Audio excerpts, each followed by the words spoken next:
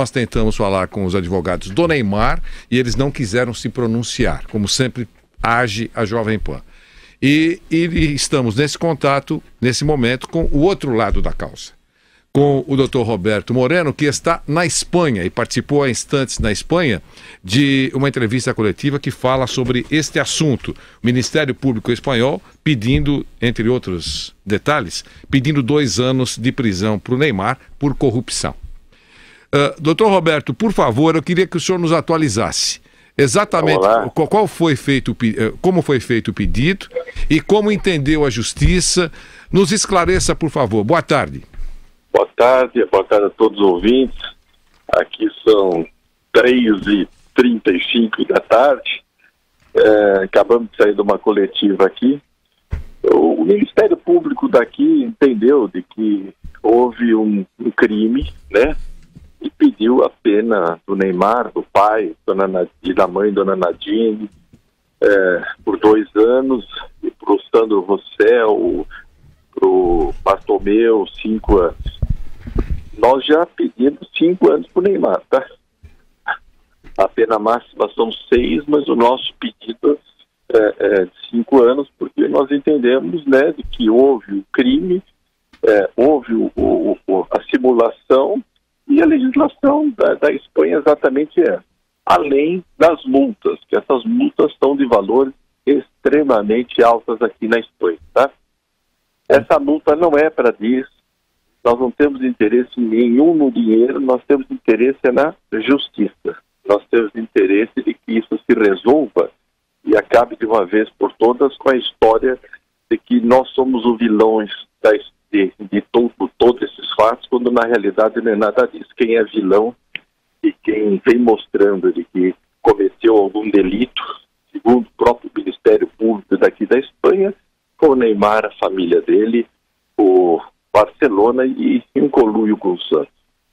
Doutor Roberto, uh, qual é o valor? Eu sei que não, não, existe um valor exato, mas qual é o valor aproximado, se é possível, bem aproximado, da diferença que vocês entendem que deixaram de receber?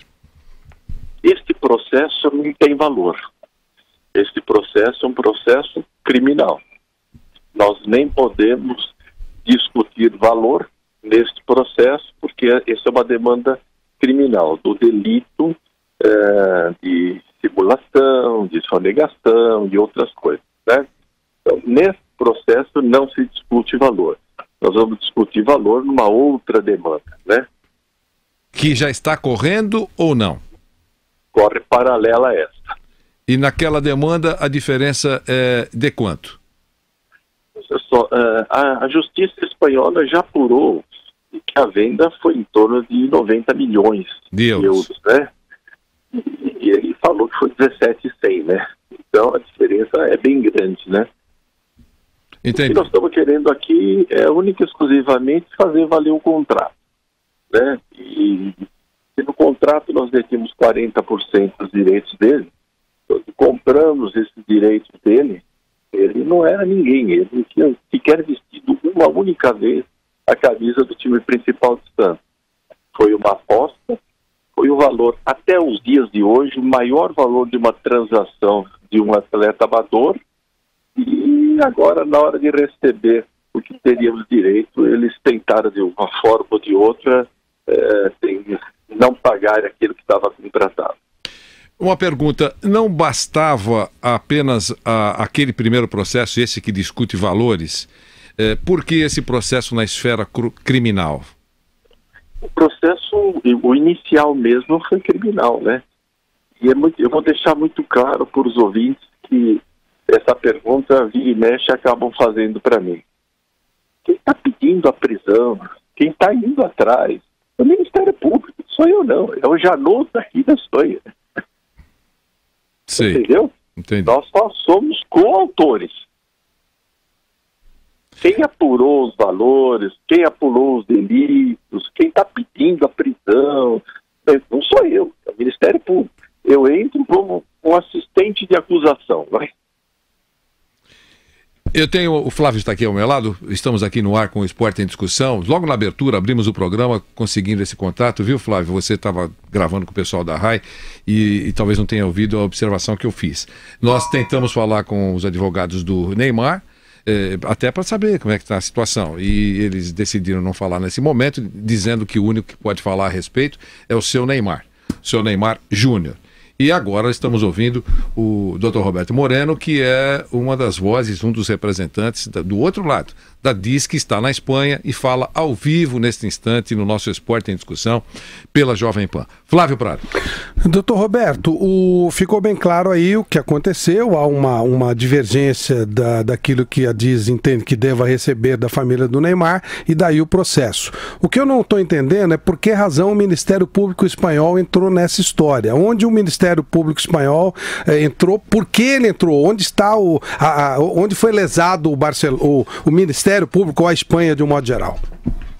Olha só, no momento em que ele firmou um contrato é, preliminar com o Santos, antes da própria final, da, ele jogou já com um contrato embaixo do braço aquele Mundial que o Santos recebeu aquela goleada, ele impediu que qualquer outro time pudesse comprar os direitos dele, que teriam uma multa monstruosa e já inclusive com pagamento inicial naquela época de 10 milhões de euros. Isso daqui, isso tem dúvida que lesou qualquer outra empresa, não só espanhola, como qualquer outro time de futebol mundial, a poder participar de uma transação da qual ele foi impedido em função desses valores, desses contratos firmados em evidente simulação. Então, Aqui na Espanha, por exemplo, se você comprar um veículo e este veículo estiver com o motor fundido, você é preso. No Brasil, não. No Brasil, você tem uma ação de, de vício redivitório, seja lá o que for, na esfera civil. Aqui na Espanha é um pouco mais grave. o Ministério Público, diante de toda a farta documentação exibida e todos os nove réus que foram ouvidos, e os ofícios enviados para vários órgãos aqui, constatou-se exatamente isso. Em função disso, não teve a menor sombra de dúvida de pedir uh, a prisão dele. É isso, Flávio. Okay. O Nilson César uh, está no estúdio também agora conosco. Nós estamos com o Dr. Roberto Moreno, que fala dire diretamente da Espanha, terminou há instantes uma entrevista coletiva lá e está nos atendendo aqui ao vivo no Esporte em Discussão pela Jovem Pan. Diga, Nilson. O doutor Roberto, um abraço para o senhor. O, o, aqui no Brasil a gente conhece mais ou menos como é que é o, o, procedimento depois de um pedido de prisão. Eu queria que o senhor falasse um pouquinho como é que funciona esse trâmite na Justiça Espanhola. Ele é semelhante ao do Brasil, semelhante, né? Então agora eles vão ter o direito de fazer a defesa, tem a defesa prévia, e depois que vamos ter a, a conclusão. Né?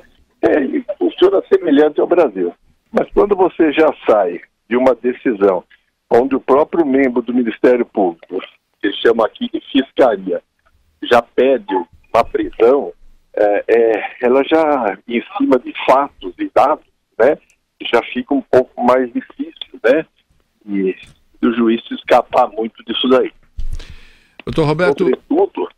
Doutor Roberto, o, esse, esse era um processo. Esse era um processo. Ele... Bom, vamos lá. E, Sobretudo porque aqui na Espanha você começa o processo falando qual é a pena que você quer. Esse é um processo que estava, já estava encerrado e foi reaberto? Na realidade, ele não foi encerrado. Ele houve, houve uma decisão em que estipulou que só tinha o aspecto civil e, e houve um recurso da, do próprio Ministério Público, e aí o tribunal, é, por, por 3 a 0, é, reformou a decisão, e com essa reforma da decisão, o próprio juiz que tinha mandado arquivar o processo reconheceu os problemas e mandou reabrir, pedindo que fosse instruído. O senhor está em Madrid ou Barcelona? Madrid. Em Madrid. É, e eu queria uma última pergunta, prometo, eu sei que você está aí cercado de. Estou de, saindo aqui. Tá, tá Vamos lá. Mas é rápido. A, a última pergunta. É, há previsão de quando isso tudo será encerrado? Ou é impossível ter uma previsão sobre isso? Nove meses. Mais? Mais nove meses no máximo. Numa, em 2017, é isso? 17. 2017. Doutor Roberto Moreno, obrigado. Gente, eh, quero agradecer a todos quiser, nós. É, mais, mais no final do dia eu, eu estaria à disposição, fico à vontade para falar com vocês, né? Perfeito. Obrigado pela oportunidade, esclarecimento aos ouvintes, né? Aqui está muito frio. Perfeito. E, e, estamos à disposição. Forte abraço para todos os componentes aí. Muito obrigado. Doutor.